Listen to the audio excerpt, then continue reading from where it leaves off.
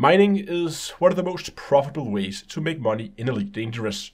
And if you're new to the game, you should stick around because today I'm going to show you a ship build I made designed for new players that requires no engineering, no unlockable modules, and that you can buy today for less than 4 million credits.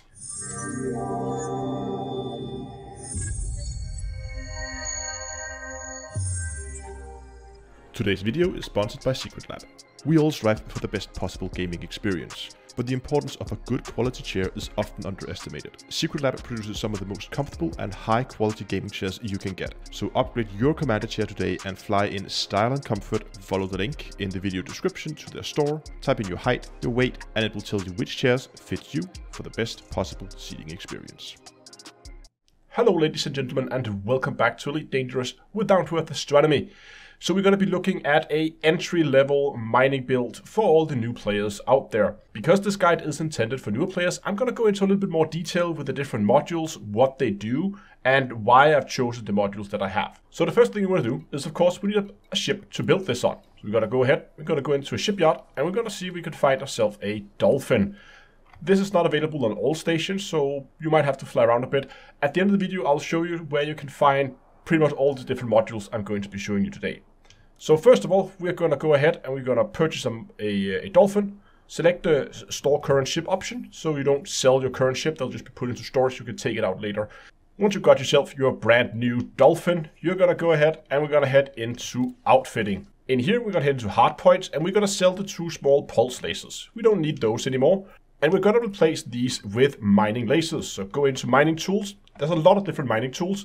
We're looking for mining lasers that different types of mining. We're going to focus on laser mining. It's the easiest to get into and also very profitable. When selecting the right ones here, or you can see there are two of them, go for the ones, look at the little icons where it says 1D, then there's a dot, then there's two icons underneath. One of them has this little turret. That's not the one you want. You want the one that has this little um, crosshair. So by that, that's a fixed weapon, meaning it's not gimbaled, and you have to aim it manually. Once you've fitted your two mining lasers, we're going to skip utilities just for good measures, make sure that all shots in here are empty. You don't need anything in here. And We're going to go down to the core internals instead. Here, we're going to slightly upgrade our power plant. And we're going to upgrade it to a D-rated power plant. It gives us a little bit more power that we need, and it's lighter, meaning we're going to get a better jump range, making it easier for us to get around. So let's go ahead and let's equip a 4D power plant. For the thrusters here, it's pretty much the same story. We're going to go and pick D-rated thrusters. Now it is nice to have good thrusters, but you can look how expensive this thruster here costs more than this full ship fitted combined. So these can get quite pricey when you're up in the class 5 here. So we're gonna go D-rated both to keep the price down and also the weight. However, on the frameshift drive, we don't want to spare anything here. We want an A-rated. This is what's going to give us a good jump range, meaning we can get around the galaxy a lot quicker with a lot fewer jumps. Yes, this is an expensive module, but trust me, it's worth it. For the life support, we are once again gonna go ahead and buy D-rated because it's the lightest. So we're gonna save some mass.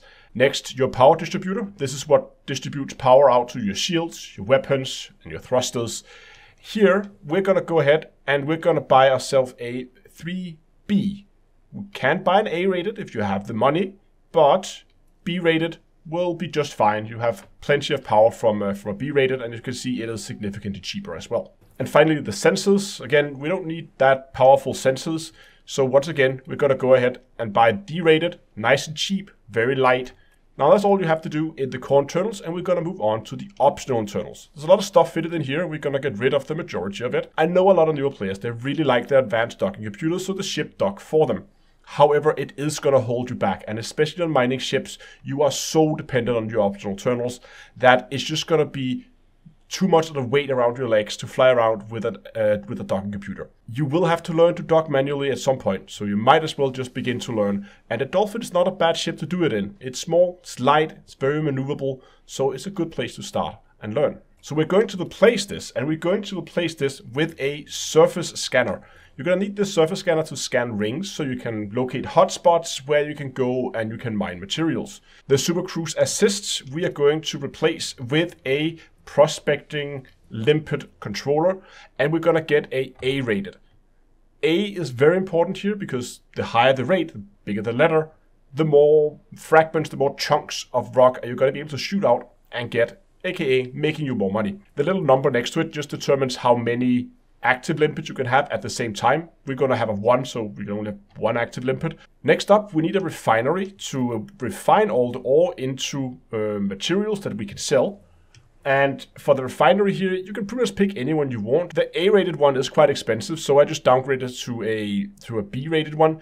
It's not like you're going to get more or better uh, materials for a higher uh, rate refinery. It just has more bins, meaning it's essentially just have a little bit extra room inside it. For the two remaining class 2 slots, we are going to be fitting collector limpets. These are limpets you can send out to collect fragments so you don't have to fly up to them manually. Small drones that will pick fragments up for you and put them into your ship. We can go A-rated here, not very expensive, and they have a nice long lifetime. Next in the class 3 slot, I'm going to be fitting a shield generator.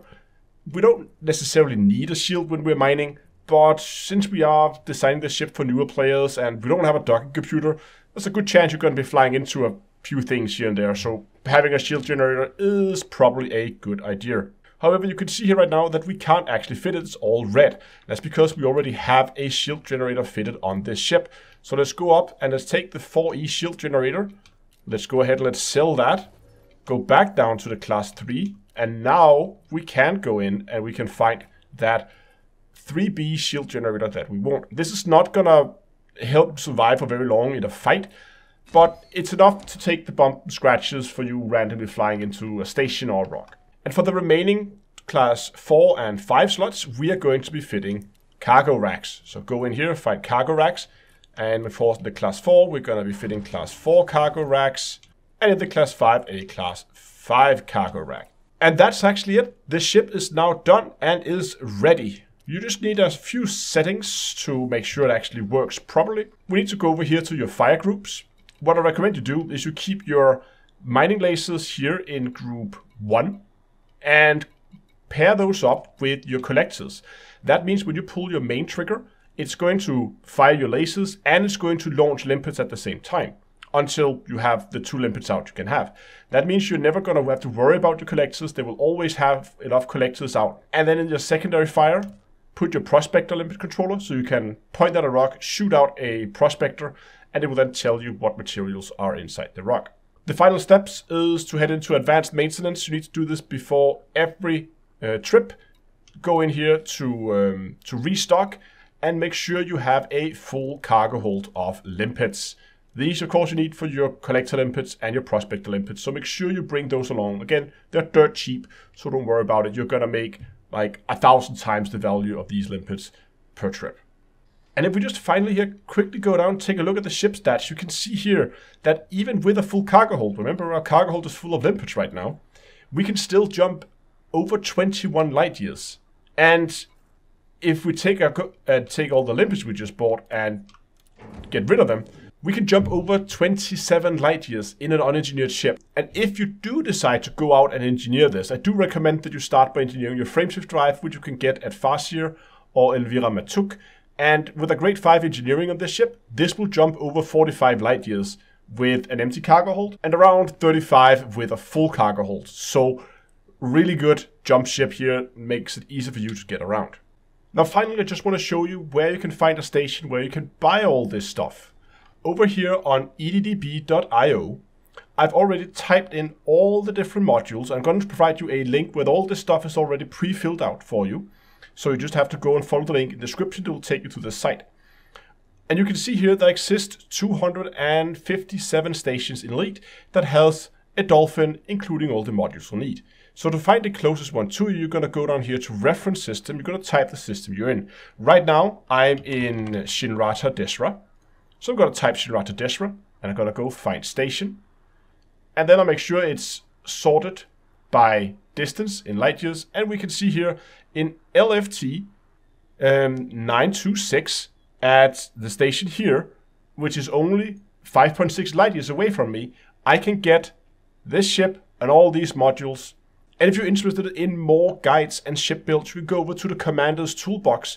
Over here, I've listed all the different builds I have. For instance, under mining, you can see I have a whole list of different mining ships for different situations. So if you're looking for an upgrade, for instance here, there's a core mining Python build. that also has no engineering required. So this could be a good upgrade if you want to go and explore core mining, for instance. And also, of course, if you want to really upgrade this ship, there's a laser mining type 9 here that also requires no engineering. So lots of options here and also a fully engineered Imperial cutter for laser mining. Lots and lots of good different ships here. And also for combat, anti-xeno combat, exploration. You can also find a host of different tools as well as guides for pretty much whatever you want to do in Elite. In the description, I will provide you a link to this site, which is called Coriolis, which is like a shipbuilding site where you can see the whole build so you don't have to sit and jump through the video to find the different modules.